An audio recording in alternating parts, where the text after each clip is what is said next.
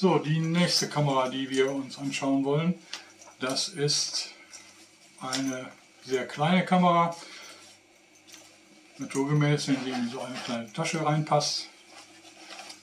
Und zwar die gute Sony Cybershot DSC HX20V, eine ja, Reisezoom-Kamera, so in der Betriebsposition ausgefahren, ohne Sucher, einfach nur ein normaler Bildschirm, keine Touch-Funktion und nichts.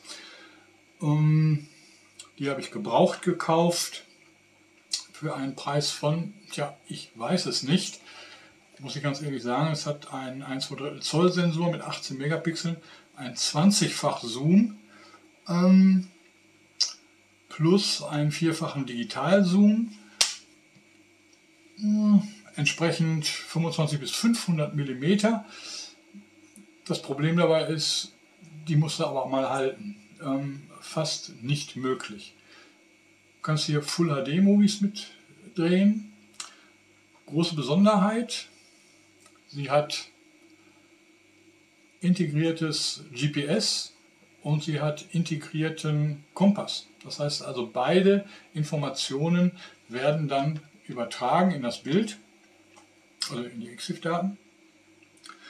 Und ähm, sie hat auch noch einen Klappblitz, den muss man dann per Menü ausfahren.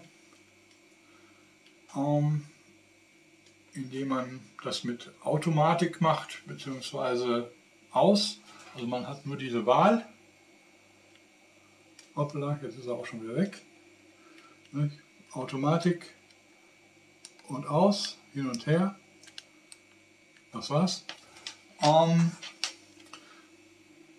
laden kann man die Kamera, ich mache es mal wieder aus.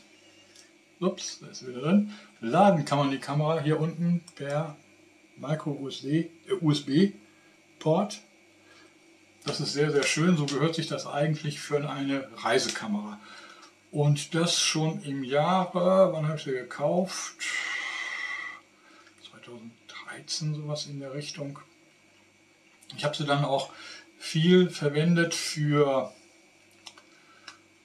ähm, Fotografieren aus dem Flugzeug und das ist das Problem. Sie hat ja hier nur so einen kleinen Gummi, gummierten Griff.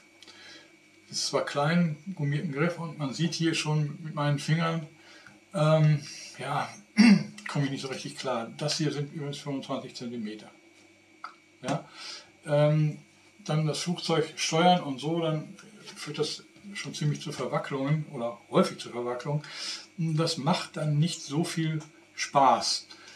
Obwohl die Kamera macht sonst richtig gute Aufnahmen.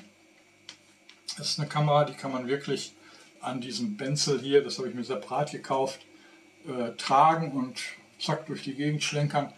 Dafür ist sie auch gemacht, fürs gelegentlich mal fotografieren. Als, wie gesagt, besserer Ersatz hier, wesentlich besserer Ersatz äh, als äh, diese Kamera aus dem Smartphones. Das kann ich dann also wirklich nur empfehlen und von der Größe her, komm, ja, wenn wir das hier mit dem Smartphone ups, vergleichen, kannst du dahinter verstecken. Ja, und so manche Aufsätze für das Smartphone sind wesentlich größer und wesentlich dicker als diese Kamera. Ähm, da würde ich sagen, das lohnt sich ta tatsächlich, wenn man nicht sehr viel mitnehmen will, so eine Kamera dann zu nehmen ähm, anstatt mit irgendwelchen komischen Aufsätzen mit dem Smartphone rumzualbern, ähm, weil diese Abbildungsqualität von diesen größeren Sensoren und von diesen besseren Objektiven ist einfach wesentlich besser als das, was ein Smartphone bringt. Ganz klare Aussage muss man auch so anerkennen. Ähm, und wenn man in einem vernünftigen Zoom-Bereich bleibt und nicht auch noch den Digital-Zoom mit dazu nimmt, dann kann man das auch noch halten und kriegt auch einigermaßen stabile, verwacklungsfreie Fotos hin. Die Programmautomatiken sind hier auch besser als im, im Smartphone. Ähm, gut, diese Kameras, die haben noch keine Konnektivität via Wireless LAN oder Bluetooth oder sowas. ja, dann schiebt man halt die SD-Karten dann hin und her. Kein Problem, aber die moderneren Kameras, die dann aber auch, ja, so eine Lumix oder eine Sony, die kosten dann auch schon 300, 400 Euro in der Richtung. Ähm, wenn man das ausgeben möchte, okay, wenn man es braucht. Ich sage mir, dieses Teil mit dieser Funktionalität für vielleicht 100, 150 Euro zu haben, allemal besser als mit irgendwelchen Zusätzen hier rumzuzaubern.